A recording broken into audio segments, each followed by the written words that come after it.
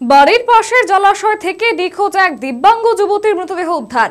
মৃত যুবতীর নাম অনিতা যোশী। ঘটনাটি খুন, আত্মহত্যা না নিছক দুর্ঘটনা তা নিয়ে দন্তের পুলিশ ঘটনা কদমতলা থানাধীন সরলা পঞ্চায়েতের মহেশপুরে তীব্র চাঞ্চল্য ছড়ায়। ধর্মনগরের কদমতলা থানাধীন সরলা গ্রাম পঞ্চায়েতের মহেশপুরের চার নম্বর ওয়ার্ডের বাসিন্দা প্রশান্ত যোশী। তার আঠাশ বছরের দিব্যাঙ্গ কন্যা অনিতা যোশী সোমবার দুপুরে স্নান সেরে পুজো দিয়ে খাতা কেনার জন্য বাজারে যায়। বাজারে যাওয়ার সময় মাকে বলে যায়, বাজার থেকে ফিরে এসে একসাথে ভাত খাবে। কিন্তু এরপর থেকে অনিতা যোশী নিখোঁজ হয়ে যায়। অবশেষে চার দিনের মাথায় বৃহস্পতিবার বিকেলে বাড়ির পাশের জলাশয়ে তার উলঙ্গ মৃতদেহ ভাসতে দেখে স্থানীয়রা। খবর পেয়ে ছুটে আসে কদমতলা থানার পুলিশ।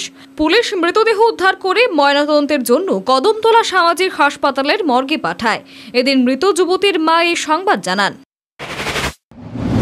আমার সামনে দুপারে জ্বালাইছে জ্বালাইয়া পূজাও দিছে। এরপরে আমার জ্বালাই করে ইয়ে তাই দিকে কাপড় রইলাম কই কাপড় হয়েছি নি? ও দেখো না ফালাইয়া তুইয়া গেছে গিয়া। ওটা কইয়া আমি আইয়া দৌড়িয়া কাপড় লইয়া আইছি না তাই কাপড় এখন লইয়া গিয়া মেলছি। মেলিয়া আমি কই দূর তাই। আবার কর মা একলগে আইলে ভাত খাইমু। ওটাও কইছে। খাইমু কইয়া বাবা একলগে খাবে ও গেল তার দুইটার সময় বারো আর আমার বাজারও খাতার দিতে আনতো কইয়া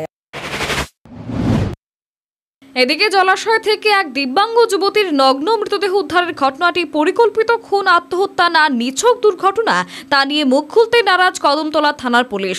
পুলিশের এই নীরব ভূমিকাকে কেন্দ্র করে সরলা পঞ্চায়েতের মহেশপুর এলাকায় জনমনে তীব্র গুঞ্জন সৃষ্টি হয়েছে। Bureau report Agartala TV.